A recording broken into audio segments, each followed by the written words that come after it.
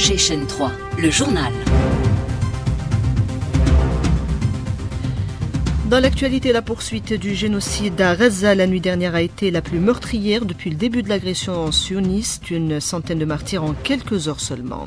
La résistance palestinienne tient tête à l'occupation, elle repousse une tentative d'incursion de l'armée d'occupation à l'est de Khan Younes.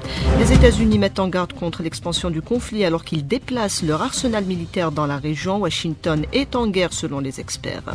Création du réseau algérien pour la transparence, il est doté d'une plateforme numérique, une initiative de la haute autorité de lutte contre la corruption.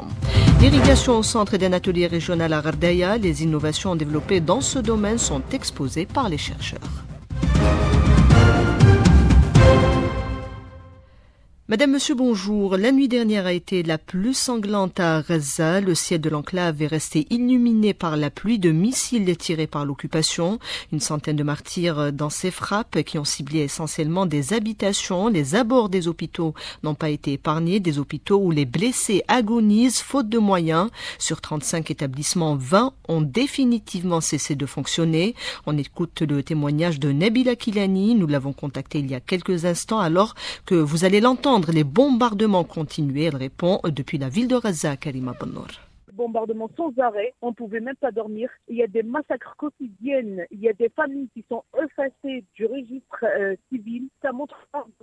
Nous, euh, on n'a pas, on n'a pas d'électricité. Il y a des lacunes. Ben, on dit qu'il y a de, l'aide qui entre par des camions par l'Égypte. Mais je ne sais pas si on compte une trentaine depuis le début de cette entrée. Ça va servir à quel besoin euh, de 2 millions? Ça, c'est la première chose. Après, l'essentiel pour faire fonctionner les hôpitaux de la bande de Gaza, on a besoin du carburant. Israël empêche la rentrée de carburant, alors on est là. Euh, on est en train de mourir doucement, mais on est en train en même temps de résister par la vie, parce que tout simplement c'est une croyance. Je dois raccrocher parce qu'il y a des bombardements autour et je dois, je dois chercher un peu d'eau pour les écoles. C'est difficile qu'on trouve de l'eau, alors j'ai trouvé une citerne. On va remplir pour trois écoles. Ça fait trois jours, on n'a pas pu remplir.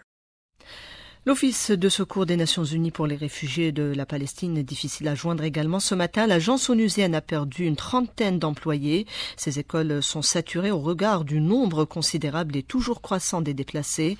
Des établissements qui ont également été ciblés par des frappes, même si leurs coordonnées ont régulièrement été euh, communiquées. Et puis, euh, ce bilan euh, communiqué il y a quelques instants par le ministère de la Santé à Gaza, le nombre de victimes des martyrs de l'agression sioniste a franchi la barre des 5000 euh, martyrs, 5087, dont 2055 enfants.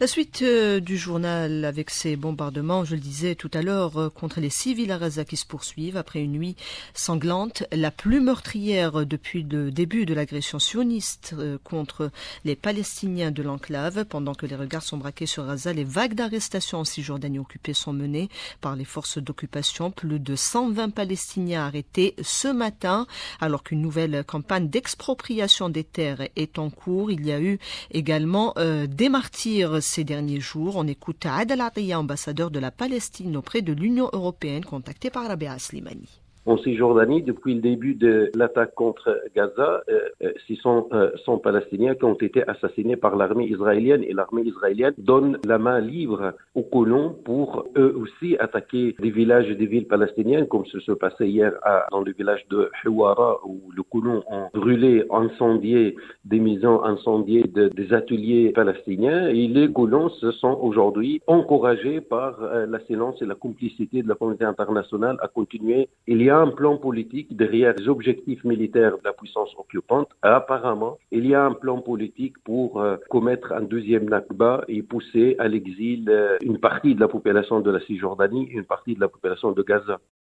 La résistance palestinienne, elle, ne s'essouffle pas. En plus euh, des tirs qu'elle mène contre les colonies sionistes, elle est parvenue à repousser la nuit dernière une tentative d'incursion euh, de l'armée d'occupation à Gaza, plus précisément à l'est de Khan Younes. Un nouvel échec euh, pour une armée qui se venge sur les civils. Khalil Abou Leila, dirigeant au sein du mouvement de résistance palestinien Hamas à Gaza, il est contacté par Karim Abunor. L'ennemi sioniste se débat. Il ne fait que démolir les habitants et tuer les enfants et les femmes. Il ne peut pas atteindre les Mujahideen et de ce fait, ce qui s'est passé avant-hier en affrontant l'un des chars des sionistes et avant de rentrer à Gaza, à quelques mètres, les résistants les guettaient. Ils ont pu exploser le char et tuer un des officiers et le reste des soldats sionistes sont revenus à pied en arrière. Les soldats sionistes ont leur morale vaincu après ce qu'ils ont vu le 7 octobre lors de l'intervention des Mujahideen dans la ligne verte. Ils ont tué et pris en otage tout le bataillon dans l'enveloppe de Gaza. C'était lui qui était chargé d'envahir la bande de Gaza. L'entité sioniste est effondrée et ils vont perdre avec l'aide de Dieu. La résistance également euh, farouche à la frontière libanaise, bombardement et échange euh, de tirs entre l'armée d'occupation sioniste et le Hezbollah. Les colons sont appelés à évacuer les lieux. Le numéro 2 du Hezbollah, Sheikh Naïm Qassem, n'écarte pas euh, des opérations accrues de la part du mouvement. Plus de détails avec Michel Raus, analyste politique. Il répond depuis Beyrouth à le Hezbollah s'est engagé dans une guerre qui, selon moi, va durer longtemps. Il a rallié la résistance palestinienne. C'est un autre front qui s'ouvre. Le Hezbollah a cassé les codes de la guerre de 2006. L'alliance entre les factions palestiniennes avec le Hezbollah est très intéressante. Aujourd'hui, les opérations menées contre l'ennemi sioniste sont plus pointues et mieux préparées, ce qui a permis de toucher la ligne de défense israélienne au long de la frontière avec le Liban. A pris 20 ans pour la construire et ça lui a coûté des milliards de dollars. Le Hezbollah a touché également des appareils techniques d'espionnage, des radars et des brouilleurs. Des drones ont également été lancés depuis le sud Liban, infligeant des pertes à l'ennemi sioniste. Le Hezbollah se prépare même à l'éventualité d'une guerre globale. Les États-Unis mettent en garde une nouvelle fois contre l'élargissement du conflit, un discours qui laisse perplexe lorsque ce même pays stationne son arsenal militaire dans la région. Le journaliste Alain Grèche, ancien rédacteur en chef du Monde diplomatique, il intervenait sur nos ondes tout à l'heure, il est joint par la Béa Slimani tout le monde met en garde contre ce risque. Le premier étant les Américains. Je crois qu'ils n'ont pas envie d'être entraînés dans une guerre régionale et en même temps, ils envoient deux porte-avions dans la région. Ils disent qu'ils vont accorder une couverture euh, aérienne à Israël et ils lui apportent un soutien qui fait que Israël se sent capable de faire tout. L'ONU est impuissante. Ses résolutions en faveur de la Palestine n'ont jamais été appliquées, contrecarrées par les États-Unis et l'Union européenne qui encouragent l'occupation de la Palestine. Alain Grèche. Les Nations Unies se sont prononcées pour un État palestinien en Cisjordanie et Gaza avec Jérusalem-Est comme capitale. Or, les États-Unis et l'Union européenne ont laissé se développer la colonisation de la Cisjordanie. Ils ont laissé se poursuivre, s'accélérer la judaïsation de Jérusalem et ont refusé en fait de faire pression sur la partie qui refusait cette, division, qui était la partie israélienne. Et donc, il faut le dire, tant que l'occupation de la Palestine durera, il y aura des conflits dans la région. Le parlementaire euh, palestinien Seyed Aboum Habond, dans ce sens, il est contacté par Elias les États-Unis d'Amérique participent directement à cette guerre. Je dirais même que c'est un acteur principal car elle fournit les armes à Israël. Elle l'aide également en termes de renseignement. Elle l'encourage à commettre davantage de massacres. Et ceci n'est pas nouveau. Il faut savoir que les États-Unis ont toujours constitué une bonne partie du problème du peuple palestinien et de notre cause. Mais cela ne décourage pas notre résistance qui essaye de contrecarrer cette conspiration israélo-américaine et continue d'infliger des pertes à l'ennemi. Que fait actuellement l'Amérique? Elle procure des avions à une entité pour attaquer des civils, majoritairement des femmes et des enfants. Les Palestiniens poursuivent euh, leur combat également sur le plan euh, diplomatique, mais aussi le plan euh, juridique. On écoute Adel Atiya, ambassadeur de la Palestine auprès de l'Union européenne, contacté par Rabia Slimani. Nous menons une bataille sur le plan politique et diplomatique pour euh, dévoiler l'ampleur de crimes commis par Israël. Effectivement, euh, nous allons poursuivre le travail avec le tribunal pénal international afin de juger ces criminels de guerre euh, qui donnent les ordres à massacrer des enfants et des femmes et des hommes à Gaza. On ne le répétera pas encore une fois. Nous sommes déterminés à rester chez nous, à rester dans notre pays, à rester dans notre territoire et aucun Palestinien ne, ne partira dans un. Et la rue ne cesse de gronder sa colère euh, contre les gouvernants qui appuient Israël dans son crime. Des manifestations se déroulent encore dans différents pays, notamment européens, où les décideurs soutiennent le sionisme et prennent des mesures qui encouragent l'islamophobie. Raleb Benchir, président de la Fondation L'Islam en France, extrait de l'invité de la rédaction avec Souid Al-Hashmi il y a une véritable, chez certains en tout cas, haine, détestation de ce qui est musulman et islamique. Le reste relève dans certains cas d'une peur irraisonnée de la chose islamique, du fait islamique, des musulmans, parce que une certaine présentation qui focalise sur le vil, le pervers, le négatif, le maladif, en l'imputant à la tradition religieuse islamique, ça fait accentuer l'idée que la tradition religieuse islamique est un élément pourvoyeur de terreur, d'épouvante, d'obscurantisme, etc. Ça crée cette peur chez certains. Mais la détestation et la haine, elle est tout aussi avérée chez d'autres. Euh, je rappelle que le ministère de la Santé à Raza a communiqué il y a quelques minutes un nouveau bilan, un bilan actualisé de l'agression sioniste contre les civils palestiniens dans l'enclave. La barre des 5000 martyrs a été franchie, 5087 dont 2055 enfants. L'on recense également 1500 disparus, toujours euh, coincés sous les décombres, plus de 15 000 blessés, dont euh, beaucoup d'enfants là également, et aucun moyen de justement les soulager puisque je le rappelle, les hôpitaux euh, sont quasiment euh, hors service euh, sur les 35 dans la bande de Gaza. 20 ont cessé définitivement de fonctionner. Vous pourrez suivre à partir de 13 heures une émission spéciale consacrée à la situation dans les territoires palestiniens. Mise en place du réseau algérien pour la transparence, une initiative de la haute autorité de lutte contre la corruption. Le réseau est doté d'une plateforme numérique. Il s'agit euh, d'une démarche à même d'appuyer la démocratie participative. Le ministre de l'Intérieur, Brahim Merred, l'a souligné. Ses propos sont recueillis par Sami Alloun.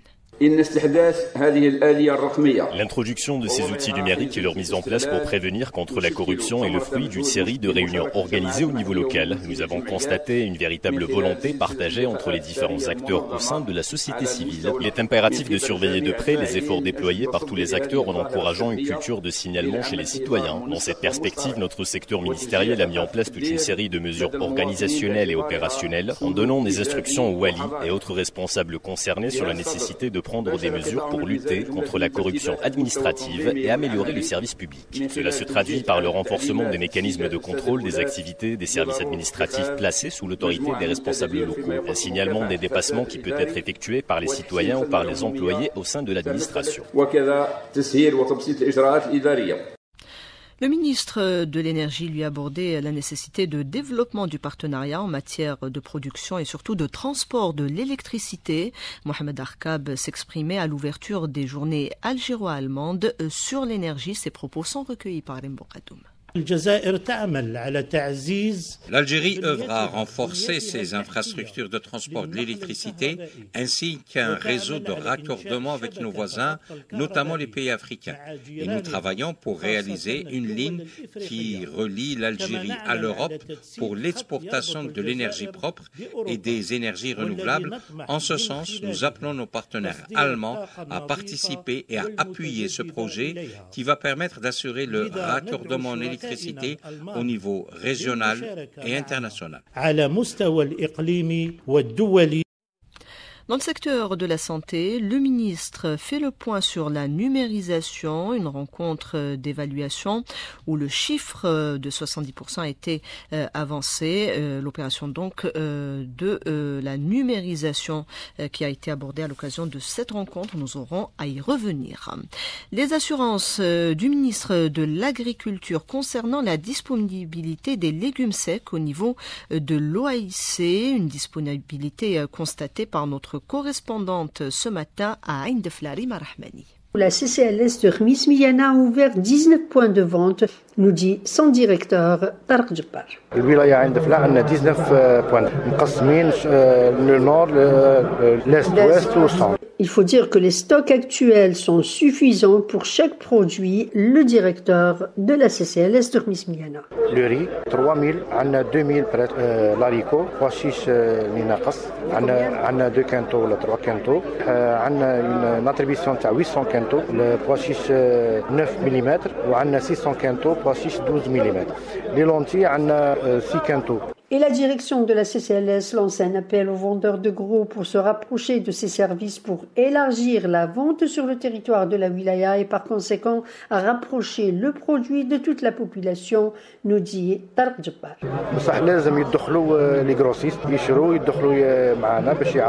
Et sur initiative de la CCLS de Khmis Miyana, à partir du mois de novembre prochain, le conditionnement de tous les produits dans des sacs d'un kilo sera effectué, nous a informé le directeur de la CCLS, Aïn Deflar Rahmani, à 3. Et à propos d'irrigation, un atelier régional est organisé euh, ces jours-ci à Gardaya. Des solutions innovantes sont exposées à l'occasion. Mahfoud Kardakar. Un atelier sur le projet Messir tient lieu à Gardaya par le Kriyad Bouzria. Écoutons son directeur Ahmed Zakan. C'est un projet qui met en relief les possibilités de déceler des innovations dans le domaine de l'agriculture. C'est un projet qui a été financé par l'Union européenne pour le développement de l'agriculture à petite échelle au niveau des pays du sud de la Méditerranée. On parce qu'il y a beaucoup de choses intéressantes, notamment des méthodes ancestrales. Cinq innovations à étudier. Ahmed Ben Mihoub, directeur de recherche CRIAD. On co-installé un démonstrateur de traitement et de réutilisation des eaux usées domestiques. Deuxième innovation, le système ancestral de gestion de l'eau et qui a été réadapté dans les extensions agricoles, dans les zones de mise en valeur à l'échelle individuelle ou à l'échelle collective. Gestion collective des fourrages dans la nappe, en fait, et renforcer cette organisation collective. Quatrième innovation, filière safran qui a été introduite dans la région, une filière durable. La cinquième innovation, l'adaptation de pivots modernes à l'échelle de petites exploitations. Entre la Tunisie et l'Algérie, un travail de concertation. Nadira Ben Issa, enseignante chercheur, Institut national d'agronomie Tunisie. Élaborer des stratégies communes parce que le sud tunisien, le sud algérien, on a beaucoup de similarités. On a été tout le temps en contact pour avoir les mêmes objectifs, comment valoriser au mieux les ressources naturelles et en particulier l'eau. Des visites sur terrain et échanges avec des experts à l'ordre du jour de l'atelier de Gherdaya Mahfoud Kerker pour Alger 3. On termine avec euh, du sport. Deux informations à retenir, Nassima Djaout, euh, le judo et le football. En football, l'Algérie a exprimé son plein soutien à la candidature de l'Arabie saoudite pour abriter la Coupe du Monde de football 2034, ainsi que sa ferme conviction euh, que le Royaume dispose de tous les facteurs de succès pour l'organisation de cet événement mondial important avec brio et mérite. C'est ce qu'a indiqué aujourd'hui un communiqué du ministère des Affaires étrangères de la communauté nationale à l'étranger suite à l'annonce par l'Arabie saoudite, pays frère, de sa candidature officielle pour l'organisation de la Coupe du Monde 2034 et au vu des relations de fraternité privilégiées unissant les deux pays frères, l'Algérie exprime son plein soutien à cette candidature et sa ferme conviction que le Royaume dispose de tous les facteurs de succès pour l'organisation de cet événement mondial important avec brio et mérite. Le judo avec la première journée euh, pour le, cette discipline aux Jeux mondiaux des arts martiaux qui se déroulent en Arabie Saoudite à Riyad. Euh, première journée consacrée aux épreuves par équipe mixte. L'Algérie a, réussi à se qualifier pour les demi-finales en battant la France 4 à 3 dans un match héroïque des judokas algériens qui n'ont rien lâché. L'Algérie euh, donc qui a réussi à se qualifier en quart de finale après avoir battu le Maroc 4 à 0. L'Algérie affrontera en demi-finale l'Ouzbékistan vainqueur en quart de finale des Pays-Bas 4 à 1. Merci euh, Nassima Djaout. L'information, c'est également la météo. Deux alertes pour aujourd'hui. Euh, Karim Abnour, euh, vous allez revenir donc dans quelques instants. Merci Ardouane Siyassi et Mohamed Zawi qui étaient à la réalisation. Karimou à la console technique et Yassine à la régie d'antenne.